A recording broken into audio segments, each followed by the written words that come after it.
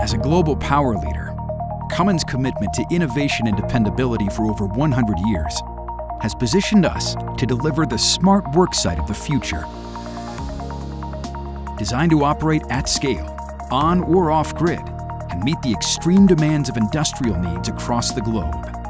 Supplying a complete portfolio of advanced diesel, natural gas, hybrid, and electric powered equipment.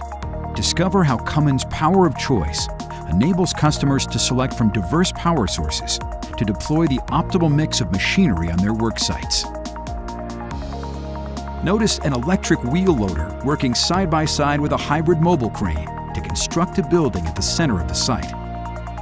Our hybrid-powered service truck acts as a mobile charge point for an electric excavator, so operators can avoid relocating oversized equipment when recharging is required. The diesel dozer utilizes a reliable Cummins engine to move earth and grade a pathway for service entry. With Cummins' Smart Charge Management System, customers maximize asset utility with dynamic load balancing, while minimizing costs from grid updates and overcapacity fees. A second wheel loader recharges during off-peak hours at the worksite's main charge tower, taking advantage of additional savings to further reduce power costs.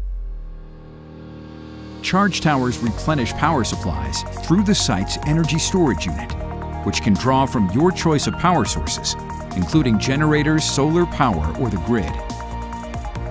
The Internet of Things remains at the core of smart work sites. From power generation and electrified charging support to remote equipment diagnostics and calibrations, our connectivity system enables digital applications, product enhancements, and service integrations that are all connected and work together to protect your bottom line and keep you always on.